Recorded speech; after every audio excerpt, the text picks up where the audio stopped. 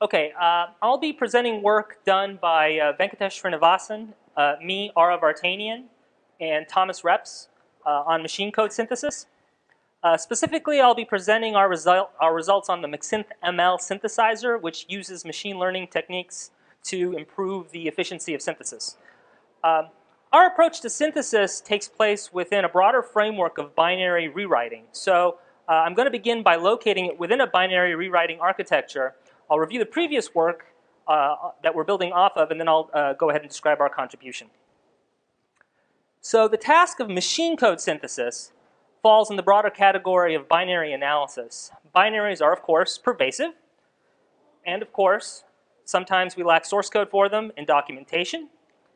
Our binaries might be legacy, or they might be untrusted, motivating the need for automated tools to analyze and potentially rewrite them. Why rewrite binaries? Well, there are a lot of applications for a binary rewriter. We might rewrite binaries to optimize them uh, either by super optimization or partial evaluation. Uh, if we have interest in security for program repair or obfuscation, or to extract an executable component like a program slice. So let's talk about the architecture of a semantics-based binary rewriter. In one possible design, we convert our binary into some semantic representation, for example, a logical formula, we can then perform, uh, we can perform this conversion at, at, a per instruction level or at a level of basic blocks. And now uh, we can use traditional static analysis to transform the logical formula. For example, one can do a value set analysis or a definition use analysis. And from a transformed formula, you can use a synthesizer like McSynthML to generate a new binary. This forms a transform, analyze, synthesize loop that would be called many times to rewrite a complete binary. So the complete idea, uh, so the key idea to take away here is that we can produce different rewriters just by modulating our static analysis. We've used this architecture, for example, and McSynth ML to create a machine code partial evaluator and a machine code slicer. However, even with a state-of-the-art machine code synthesizer, this rewriter is just not fast enough. To rewrite a typical binary, uh, which will have you know, hundreds of thousands of basic blocks and instructions, the rewriter would have to invoke McSynth hundreds or thousands of times. And each call to McSynth can take a few minutes or a few hours to obtain an implementation for the input formula, leading to a prohibitive cost of what could be hours or more likely days. So our contribution here is to speed up our search uh, by introducing machine learning methods that pick synthesis candidates that are more likely to be correct. So to make the discussion concrete, I'm just going to talk about a few instructions from IA32. All you need to know about IA32 for the, follow, for the sequent is going to be the following. Uh, ESP is uh, the stack pointer register. Push instructions push an operand on the stack and update the pointer.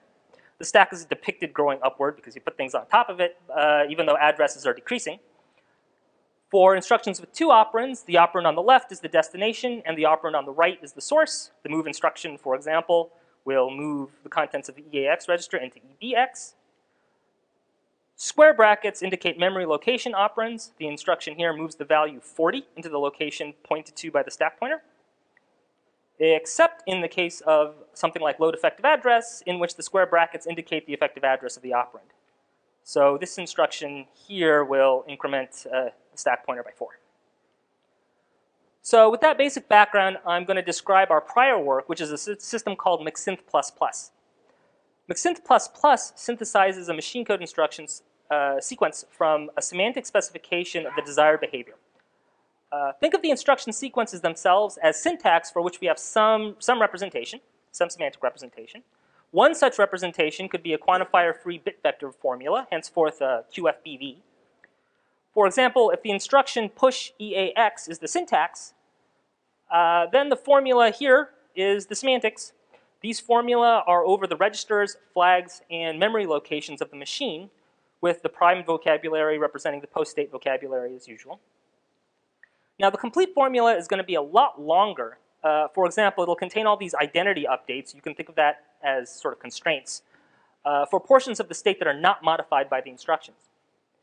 Uh, but to keep things uncluttered, I'm only going to show the relevant portions of the QFBV formula. So McSynth++ takes this QFBV as input and synthesizes an instruction sequence that's semantically equivalent to the input formula.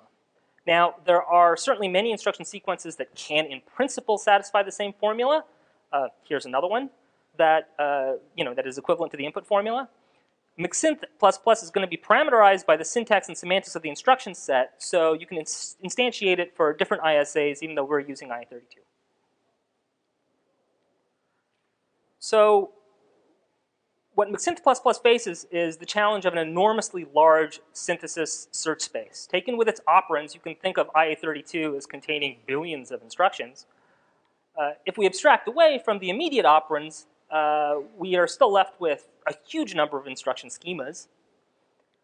This, along with the exponential cost inherent in enumerative synthesis, gets you to what's just too large a search space for a naive enumeration to perform well. A naive enumeration can take, to give you a sense of what the magnitude I'm talking about here is, can take several hours or even days just to synthesize an instruction sequence of length 2. So what do we do to tame this? To sort of to help tame the, the search space, we employ a divide and conquer strategy on the intuition that it's going to be easier to satisfy independent subformula and then concatenate the resulting instruction sequences than it's going to be to synthesize a, a sequence for the entire formula. For larger QFBV, this strategy brings down the synthesis time by several orders of magnitude already. We employ a master-slave architecture which splits formula phi into independent subformulas and then hands over each subformula to a slave synthesizer. The master concatenates the results produced by the slaves and returns a resulting instruction sequence. If any of the slaves time out, an alternative split is tried. If all possible splits time out, the slave is given the unsplit formula as input.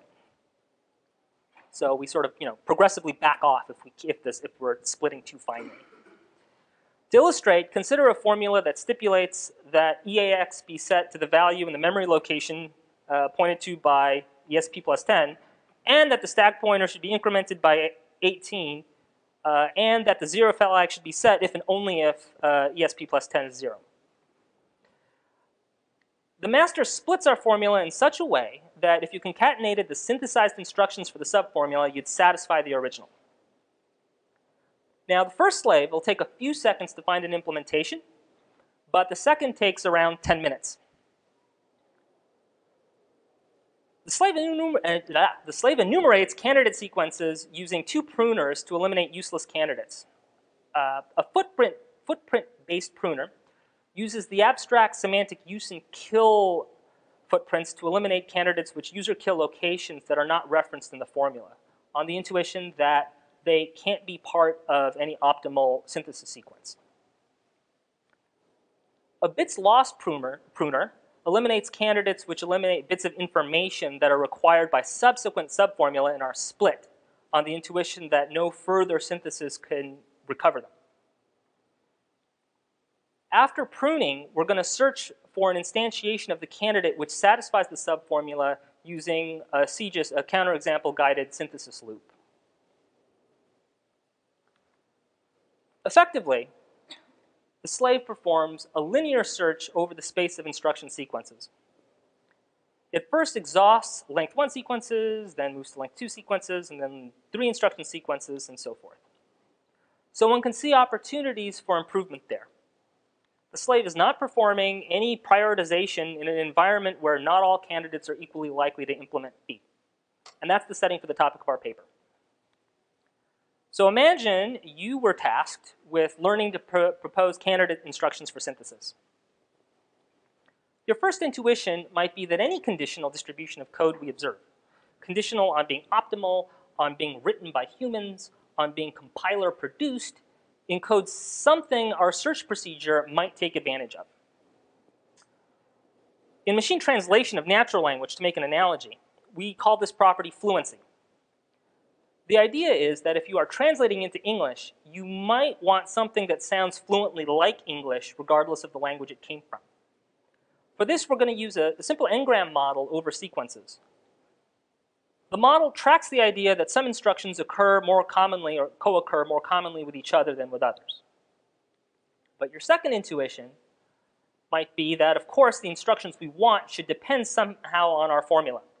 to draw again an analogy to natural language, we call this property faithfulness. We want our fluent English to actually be a faithful translation from the original. So in this analogy, think of the instruction sequence as being translated from the original QFBV formula. For this, we use a, a, regression model that gives us a probability over how likely an instruction is to occur in the synthesized sequence. Our training samples here would constitute basically uh, sets of, of specification implementation pairs. Now, you might ask yourself, if synthesis is difficult, where can we find such a corpus? Well, while synthesis from a formula to an instruction sequence is difficult, it turns out that we can map from an instruction sequence to a QFBV formula straightforwardly and quickly through symbolic execution. For example, creating a corpus of 4.4 million uh, of these specification implementation pairs took only about 12 hours by this method. Our regression model was featureized on the instruction side and on the formula side. On the instruction side, uh, our, our instruction features are opcode variants, equivalence classes of opcode categories like addition, multiplication, logical operations, and operand sizes, you know, 8-bit, 16-bit, 32-bit, and so forth. The presence or absence of QFBV vocabulary items in phi constituted our formula features. Otherwise, the design of McSynthML is similar to that of McSynth++. It employs the same master-slave architecture. And assisted by our models, though, uh, our linear search becomes a best first search. So how do we use these models during synthesis? Suppose the current candidate set of prefixes looks like that. The search uses an interpolation of the two models to choose which prefix to expand. Now, a desideratum of our design is that we don't want to simply learn the suboptimal code we might happen to see in some training corpus. So our design constraint here is that we maintain the same completeness guarantee of McSynth++.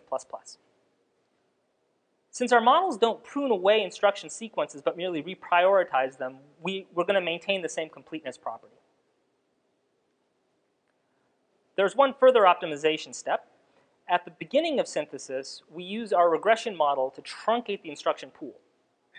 That is, uh, we threshold the instruction pool to contain only opcode variants which our regression model predicted to be likely contained in the sequence.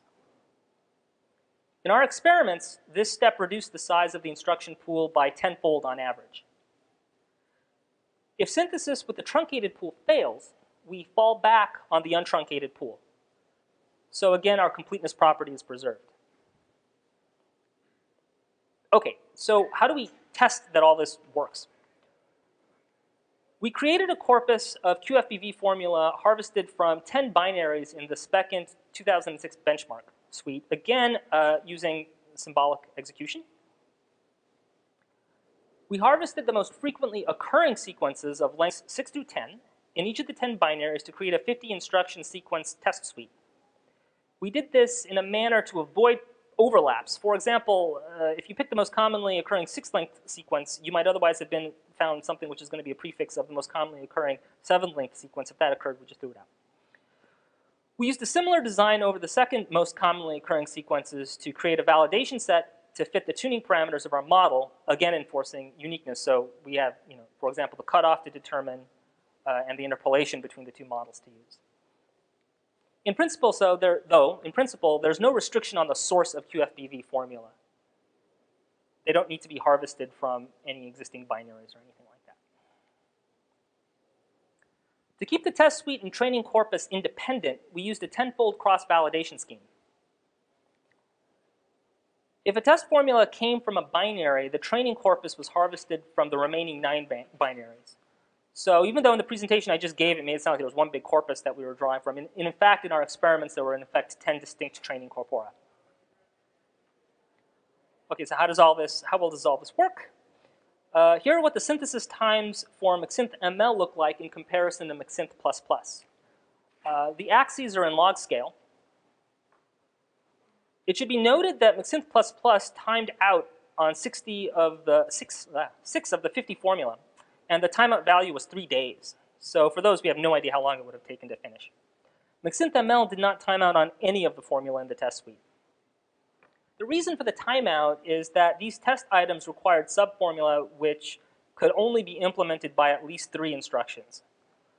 For these formula, McSynth produced an average speed of, of at least 526 fold. For the formula that did not time out, the average speed up produced by McSynth was 4.5 fold.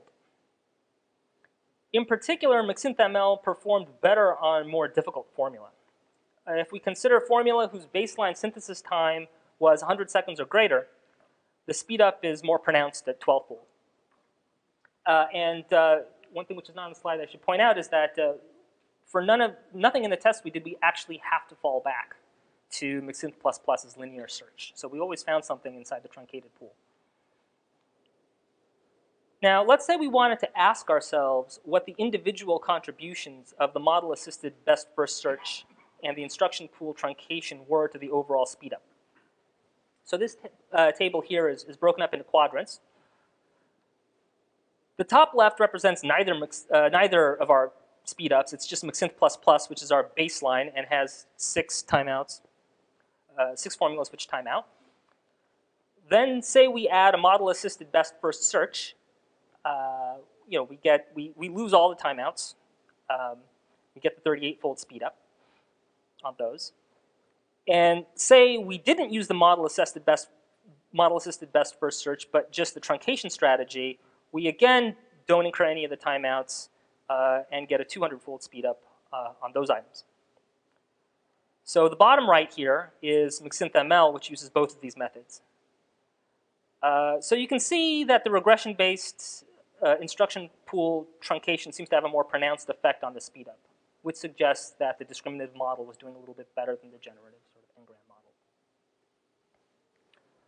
So uh, to wrap up, we've introduced machine learning techniques for our style of machine code synthesis from specification formula. We've used best first search assisted by models learned from readily available sources. Our models prioritize some candidates over others but retain the completeness property. And over a baseline of a previous synthesizer, we have a 526-fold speed up on formula that timed out and a 4.5-fold speed up on remaining formula. So, thank you very much for your time, and that concludes my talk, and I'd be happy to take any questions.